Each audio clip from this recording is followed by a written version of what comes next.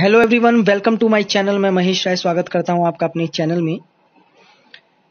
तो UGC net JRF परीक्षा नवंबर 2017 का ये क्वेश्चन पेपर है, हिंदुस्तानी संगीत वोकल एंड इंस्ट्रूमेंट व्याख्या सहित तृतीय प्रश्न पत्र का हल है ये। 2017 नवंबर का ये तृतीय प्रश्न पत्र का हल है, तीसरा प्रश्न पत्र है ये, उसका हल है। तो चलो स्टार्ट करते हैं।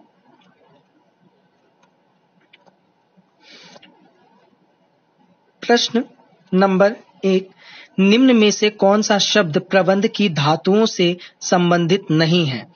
ए, उद्ग्रह, बी, ध्रुव, सी, मेलापक, या डी, तेनक? तो आपका सही आंसर है डी, तेनक। ठीक है? उद्ग्रह उद्ग्रह ध्रुव, मेलापक, आभोग ये प्रबंध की चार धातु से संबंधित हैं। तेनक प्रबंध की छह अंग से माने जाते हैं। स्वर विरुद्ध पद, तेनक पाठ ताल प्रबंध की पाँच जाति मानी गई है। ठीक है? आगे चलते हैं क्वेश्चन नंबर दो। और ये भी दिया हुआ है, देखिए, प्रबंध की पाँच जाति मानी गई है। मेदिनी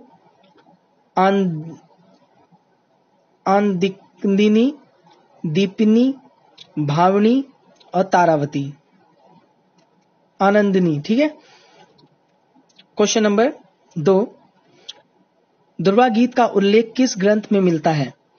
ए बृहदेशी बी संगीत मकरंद सी नाट्य शास्त्रीय डी नारदे शिक्षा।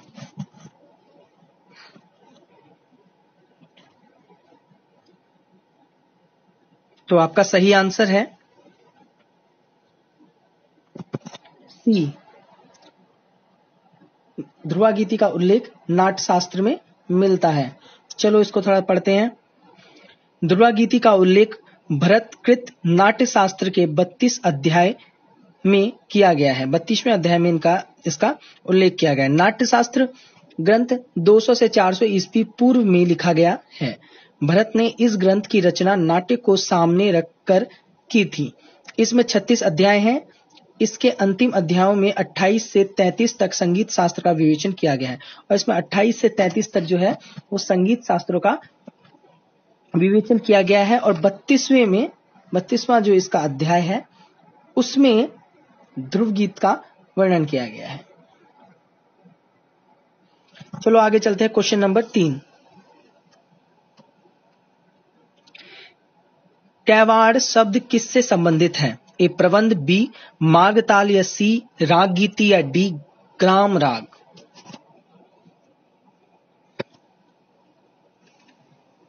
तो इसका सही आंसर है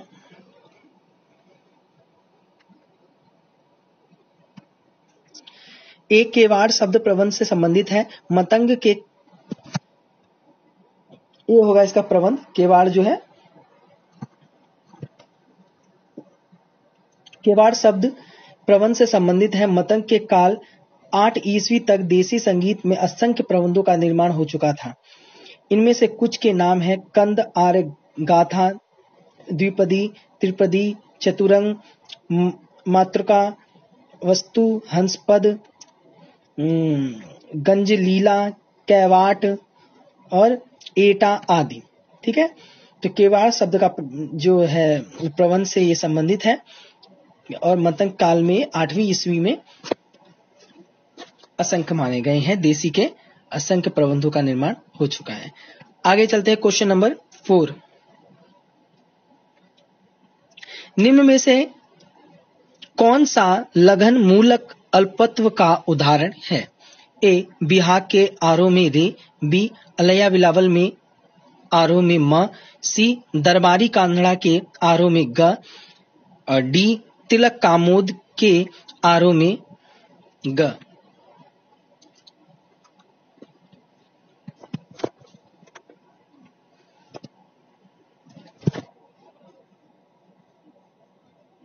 तो इसका सही आंसर है बी अलैया बिलावल के आरो में म। आइए देखते हैं कैसे। अलैया बिलावल में आरो में म लगन मूलक अल्पत्व का सूचक है। यह राग बिलावल ठाट का राग है। जाति इसकी साड़व संपूर्ण है। वादी धैवत असंवादी गंधार गायन समय प्रातकाल है। यह उत्तरांग प्रधान राग है। न्यास के स्वर सा रे और प संप्र, संप्रकृति राग बिलावल है। ठीक है अलैया बिलावल का जो संप्रकृति राग है वो बिलावल है। और इसमें जो देख सकते हैं आप ये सा म है इसका जो है, लगन मूलक है। लगन मूलक है। आगे चलते हैं क्वेश्चन नंबर फाइव।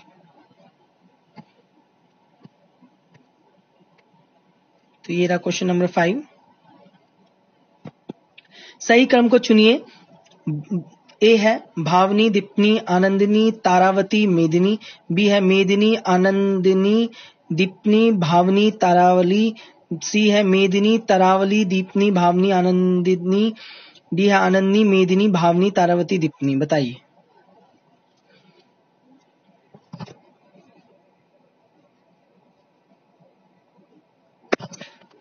तो इसका सही आंसर है बी। इसका सही है आंसर पहले मेदनी, फिर आनंदिनी, फिर दीपनी, फिर भावनी, फिर तारावली।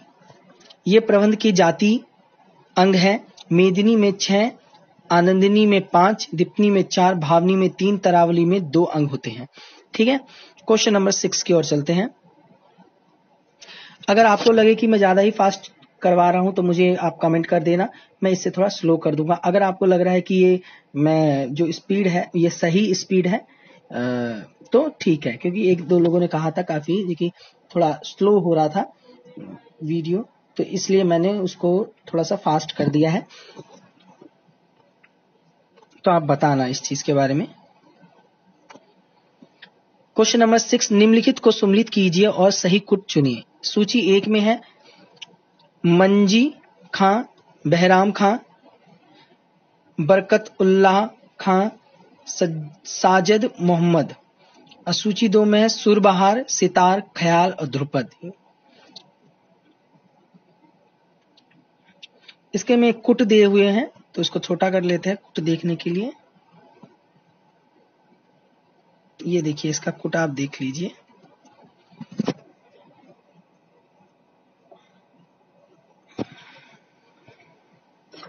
ऐसे क्वेश्चन में आपको एक भी आता है तो वो सही हो जाएगा। इसका सही आंसर है डी ठीक है? तो ए का क्या होगा? तीन होगा, ठीक है? मंजी खा का क्या हो जाएगा? ख्याल। और बी का हो जाएगा चार बहराम खान का हो जाएगा ध्रुपद। राम काम क्या गाते थे? ध्रुपद गाते थे। और सी का हो जाएगा दो। बरकत उल्लाह खां क्या है? सितार वादक है। और डी का हो जाएगा एक। तो सज्जाद मोहम्मद कौन थे? मतलब कि सुरबहार ये बजाते थे। अब ये देख सकते हैं। मंजी खान ख्याल गायन से, बहराम खान ध्रुपद गायन से, बरकत उल्लाह खान सितार वादन से और सज्जन मोहम्मद सुरबहार से संबंधित हैं। आगे चलते हैं हम। Question number seven. General Karnail के नाम से कौन प्रसिद्ध थे?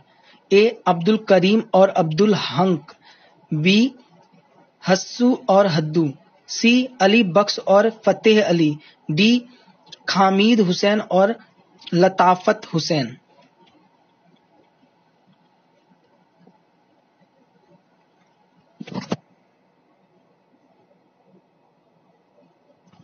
तो इसका सही आंसर है सी। अली बख्श और फतेह अली, जनरल कर्नल के नाम से प्रसिद्ध हैं। अली बख्श को क्या कहते हैं? जनरल और फतेह बख्श को कर्नल।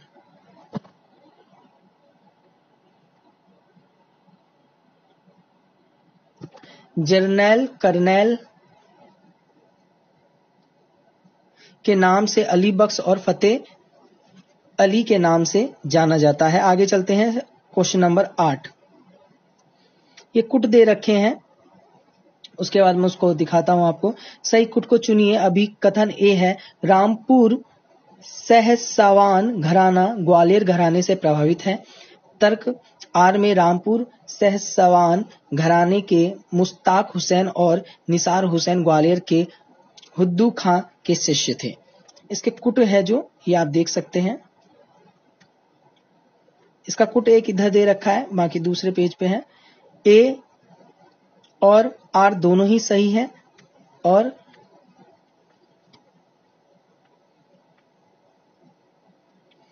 ए आर दोनों गलत हैं, सी ए सही है और आर गलत है, डी आर ए गलत है और आर सही है। तो इसका सही आंसर है सी। ए सही है, परंतु आर गलत है। ये देखिए, रामपुर सह सवान घराने, ग्वालियर घराने से प्रभावित हैं। ठीक है? आगे चलते हैं। निम्नलिखित में से क्वेश्चन नंबर नौ है। ये निम्नलिखित में से कौन सा राग, सिंधी प्रकाश राग है? श्याम कल्याण, मिया की, तोड़ी, मुल्तानी या पूरिया?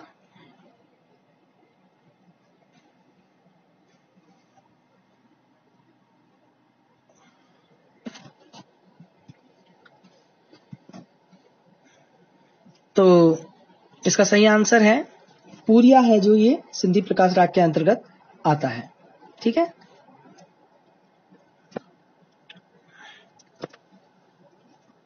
पूरिया राग सिंधी प्रकाश राग की श्रेणी में आता है। पूरिया मारवा ठाट का राग है। जाति साड़व साड़व वादी गज संवादी नी न्यास के स्वर गनी गायन समय सायकाल संप्रकृति राग मारवा सोनी है। ठीक है? तो ये है नवा क्वेश्चन। आगे चलते हैं दसवें क्वेश्चन की ओर। गंधर्व महाविद्यालय की स्थापना किसने की? कुमार गंधर्व बी बाल गंधर्व सी भारत खंडे या डी विष्णु दिगंबर?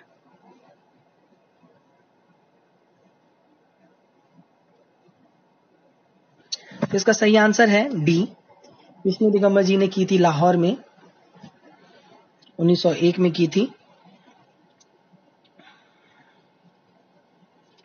गंधर्व महाविद्यालय की स्थापना 1901 में लाहौर में विष्णु दिगंबर पुलस्कर द्वारा स्थापित किया है। इसका, इनका जन्म 18 अगस्त 1872 को महाराष्ट्र के क्रुंडवाड़ नामक स्थान पर हुआ था। इन्होंने 1908 में बंबई में गंधर्व महाविद्यालय की स्थापना की। पंडित जी ने वर्ष 1909 में संगीतामृत प्रभा नामक एक संगीत पत्रिका का भी संपादन आरंभ किया था। ठीक है? 1872 में इनका जन्म भी हुआ है, ये भी याद रखना। 18 अगस्त 1872 में, ठीक है? और 1901 में इन्होंने किया था। पाँच मई को किया था, पाँच मई 1901 में। आगे चलते हैं क्वेश्चन नंबर ग्यारह।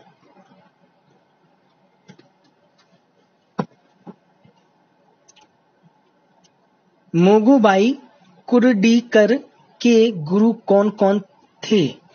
ए, अलादिया खां, हैदर खां, विलायत हुसैन खां। B, Bhaskar Buwa, Bade Mohammad Khan, Aman Ali Khan. C, Mushtaq Hussain Khan, Haider Bakhsh Mubarak Ali Khan. D, Maniram Ramkrishna Buwa, बूझे रजब अली खान।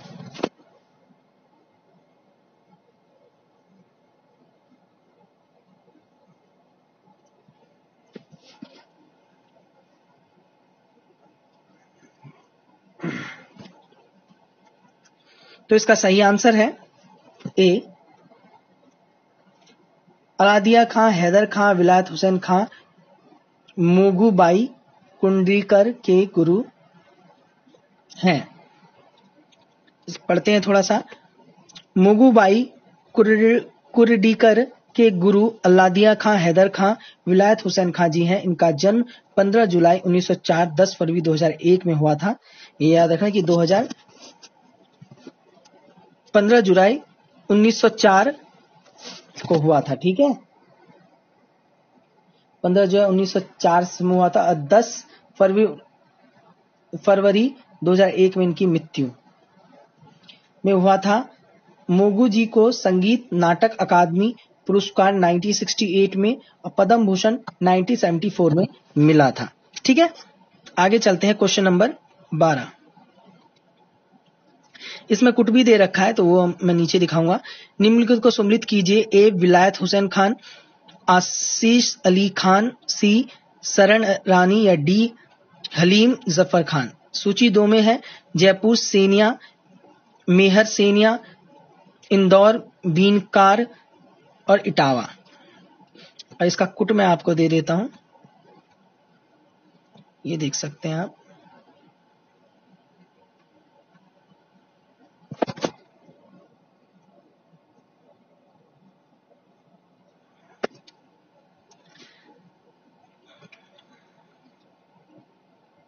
तो इसका सही आंसर है बी।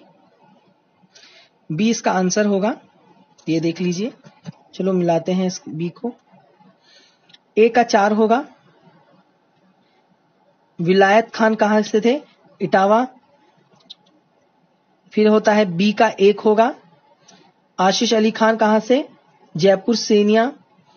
और सी का दो होगा। शरण रानी कौन से से थी? तो मिहर सेनिया से थी। और डी का तीन हो जाएगा। अलीम, ज़फ़र खां, इंदौर बीनका ठीक है? तो आगे चलते हैं। विलायत खान का इटावा से, आशीष अली खान जयपुर से, शरण रानी मेहर सेनिया से, हलीम ज़फ़र खां इंदौर के बीनकार से संबंधित हैं। आगे चलते हैं। तो ये क्वेश्चन नंबर हमारा था, बारह। क्वेश्चन नंबर तेरह की ओर चलते हैं।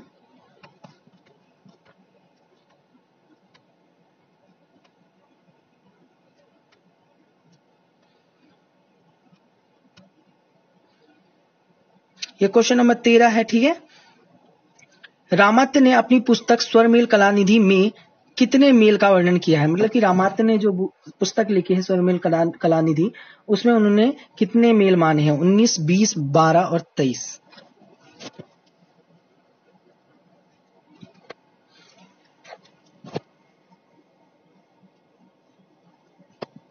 तो सही आंसर है बी।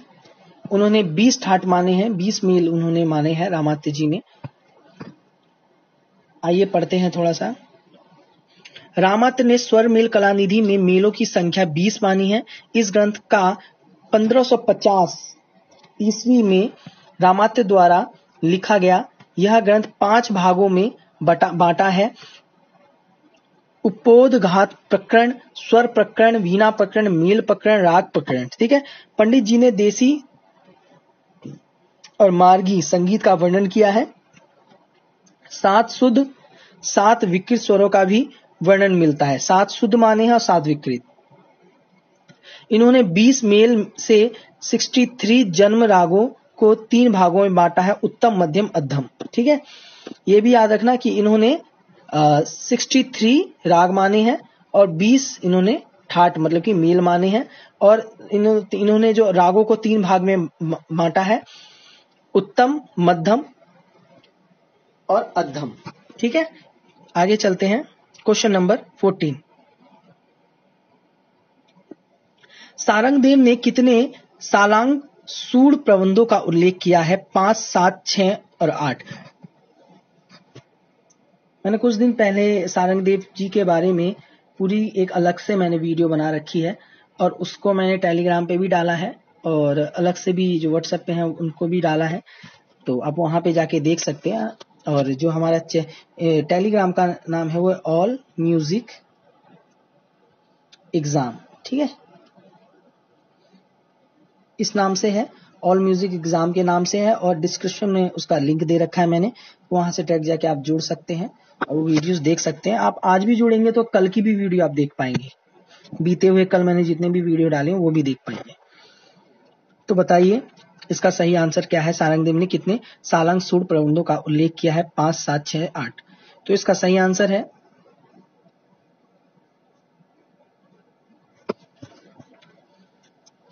बी। सात मांगे, माने हैं उन्होंने सालांग सूट प्रबंधों।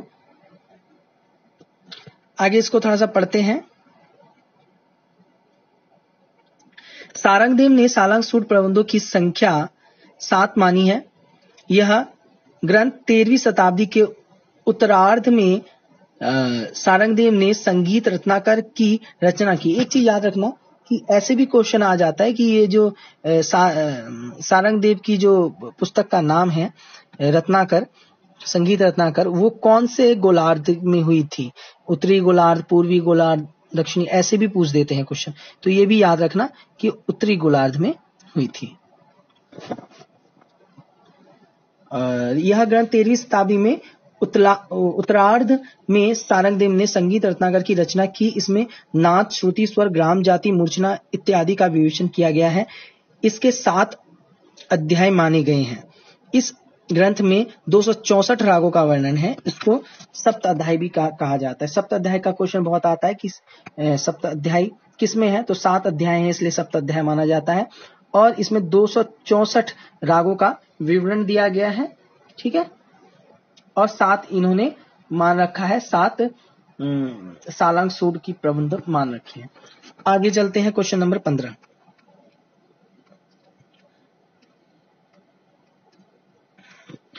मोहम्मद दबीर खां के शिष्य कौन है? Amjad Ali Khan, B, Karatulla Khan, C, Radhika Mohan Maitra D, Buddhadev Das Gupta. Buddhadev Das Gupta, चौथा है, और इसका सही आंसर आपको, सी है इसका सही आंसर, राधिका मोहन मैत्रेय, इसका सही आंसर है। तो पढ़ते हैं इसे। मोहम्मद दबीर खां के शिष्य राधिका मोहन मैत्रेय हैं। राधिका मोहन जी का नाम, का जन्म 1917 में हुआ था। इसके पहले गुरु बुद्धदेव दास गुप्ता जी थे। मृत्यु 1981 में हुआ तथा 1971 में इन्हें संगीत नाटक अकादमी पुरस्कार से सम्मानित किया गया था। ठीक है? क्वेश्चन नंबर 16 भंजनी किसका प्रकार है? ए मूर्छना, बी प्रबंध सी रूपकालिप्ति, डी गीति।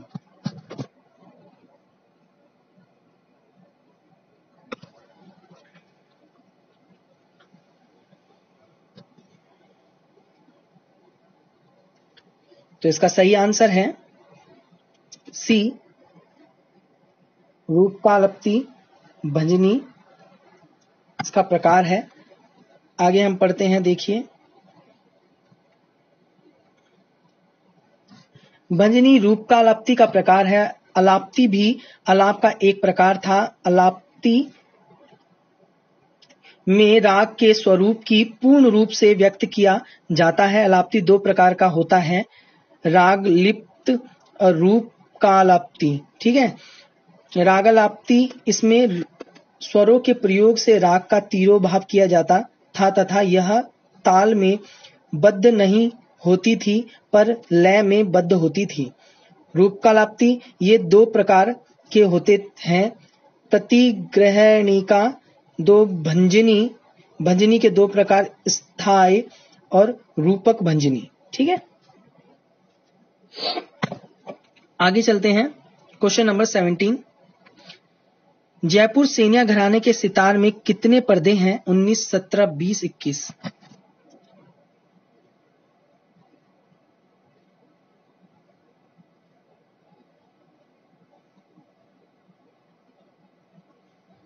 तो इसका सही आंसर है बी। सत्रह है पर्दे जयपुर सेनिया घराने के सितार में सत्रह पर्दे हैं, ठीक है? जयपुर सीनिया घराने के सितार में सत्रह पर्दे होते हैं, तानसेन जयपुर में, ठीक है? अरे यार।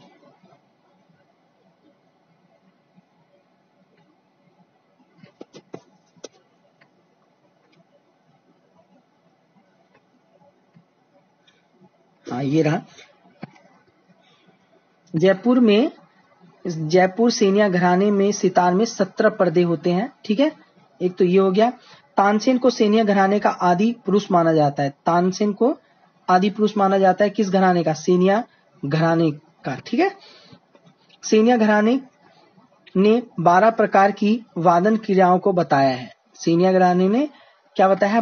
बारह प्रकार की वादन क्रियाओं को बताया है। सितार वाद्य का जनक अमीर खुसरो को माना जाता है। सितार को सहतार भी कहा जाता है। ठीक है?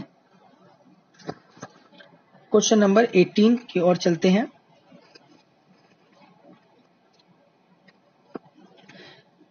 हरिणासव है ए, गंधार ग्राम की मूर्छना, बी सडस ग्राम की मूर्छना, सी, मध्यम ग्राम की मूर्छना, डी, जाति गाँव क्या है?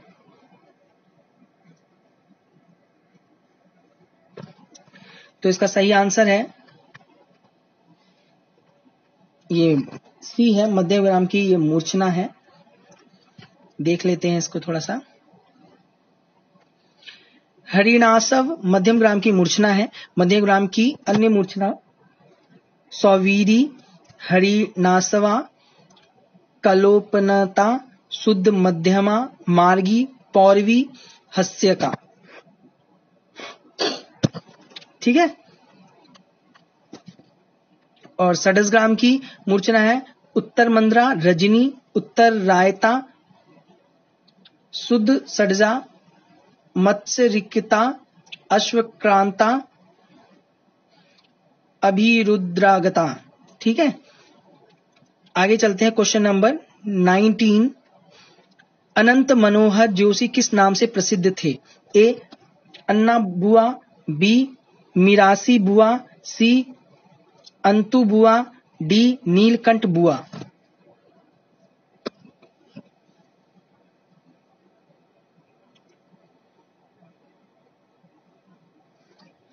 तो इसका सही आंसर है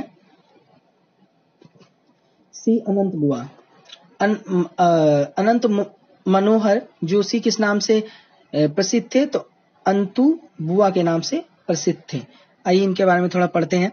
अनंत मनोहर जोशी को अंतु बुआ के नाम से विख्यात थे। इनके गुरु विष्णु दिगंबर पलुस्कर जी थे। इनका जन्म 8 मार्च 1881 को हुआ था। इनको संगीत नाटक अकादमी पुरस्कार 1955 में मिला था। इनकी मृत्यु 12 सितंबर 1967 को हुई थी। आगे चलते हैं क्वेश्चन नंबर 20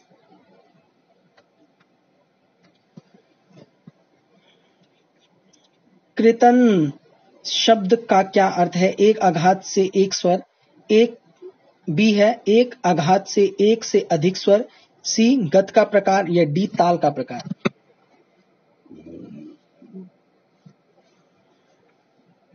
तो इसका सही आंसर है बी। कृतन, एक आघात से एक से अधिक स्वर एक ही आघात हाथ से एक से अधिक स्वर होते हैं तो कृतन न कहलाता है। ठीक है?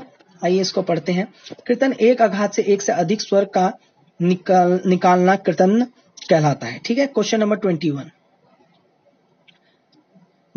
जंत्र किस वाद्य से संबंधित है? ए, सप्ततंत्री, बी, पंचतंत्री, सी, चतुर्तंत्री या डी, त्रितंत्री।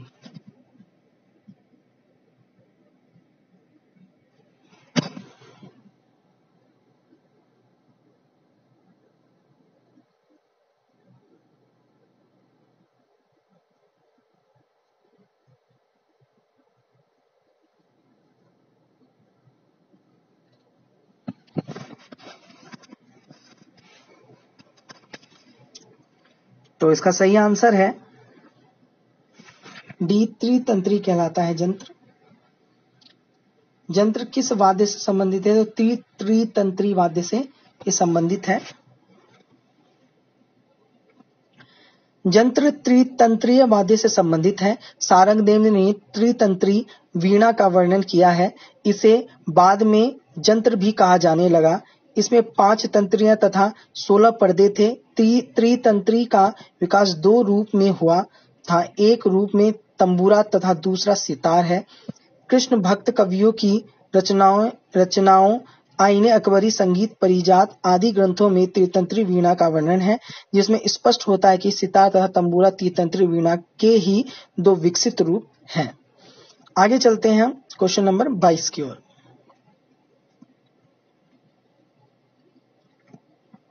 कौन सा ठाट मेजर स्केल के समान है? काफ़ी विलाबल आसावरी या खमाज?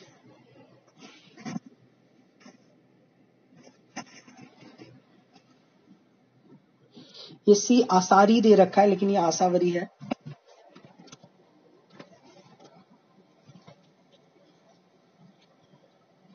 तो इसका सही आंसर है बिलावल जो है नेचुरल ठाट है मतलब की मेजर स्केल का ठाट है। बिलावल ठाट मेजर स्केल के समान है। मेजर कॉर्ड्स का अर्थ है, बड़ी स्वर, सहती, सा प को एक साथ गाने बजाने पर मेजर कॉर्ड होता है। सातों स्वरों को क्रम अनुसार व्यवस्थित करने पर बिलावल के स्वर प्राप्त होते हैं। यही मेजर स्केल है। Question number twenty three Gunidas किस संगीतज्ञ का उपनाम है। क्वेश्चन नंबर ट्वेंटी थ्री है। गुणीदास किस संगीतज्ञ का उपनाम है बालकृष्ण बुआ, बी जगन्नाथ बुआ, सी रामकृष्ण बुआ यस डी श्री कृष्ण बुआ।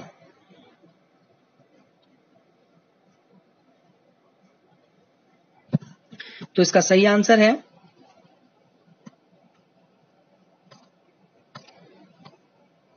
इसका सही आंसर है बी। ठीक है? जगन्नाथ बुआ को गुणीदास के नाम से जाना जाता है, उपनाम से जाना जाता है। किसको? जगन्नाथ बुआ को गुणीदास के नाम से जाना जाता है। ये हमेशा याद रखना। और आगे बढ़ते हैं हम इसको थोड़ा सा।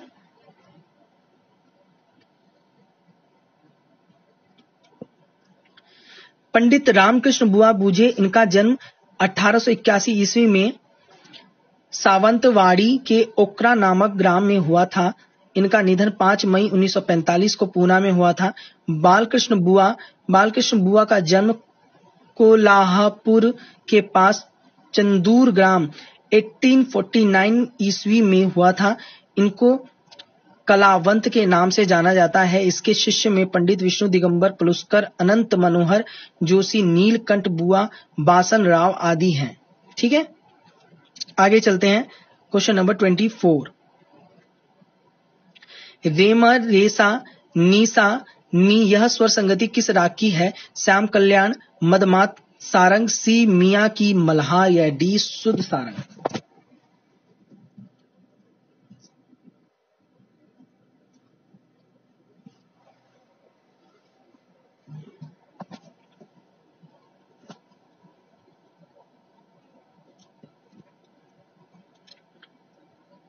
तो इसका सही आंसर है डी शुद्ध सारंग का ये स्वर संगति जो दी है यही है।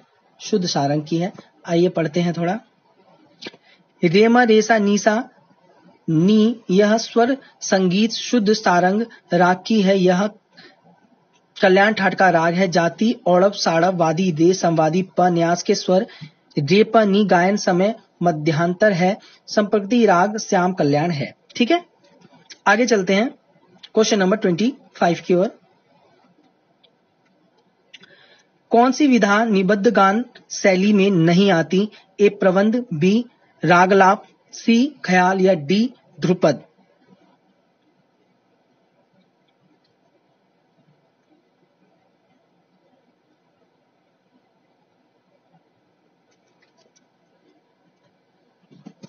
तो बी, जो अलाप आता है, राग का जो अलाप होता है, वो निबद्ध नहीं होता, वो अनिबद्ध होता है।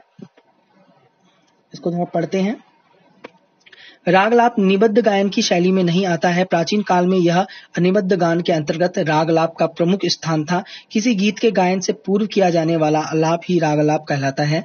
रागलाप में दस लक्षण का पालन पूर्ण रूप से पालन किया जाता है। रागलाप में राग का आविर्भाव, तिरोभाव नहीं किया जा सकता है, ना ही भावनाओं को व्यक्त किया जाता है। तो ये था आज के 25 क्वेश्चन, जो मुझे उम्मीद है आपको अच्छा लगा होगा। और हम टेलीग्राम का तो मैंने आपको नाम बता ही दिया, एक और बता देता हूँ। ऑल म्यूज़िक एग्ज़ाम के नाम से टेलीग्राम है, यहाँ से आप जुड़ सकते हैं। जो भी हेल्प होगी वहाँ से आपको मिल जाया करेगी। जो भी प्राइवेट और गवर्नमेंट जॉब की जो भी अपडेट आती रहती है, वहाँ पे मैं बताता रहता हूँ। और आप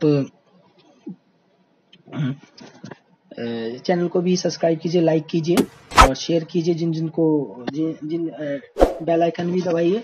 और जिनको भी ज़रूरत होती है जो भी तैयारी कर रहे हैं बी की या एनवीएस की या नेट की तो उनको भी जोड़िए ताकि उनकी भी हेल्प हो पाए।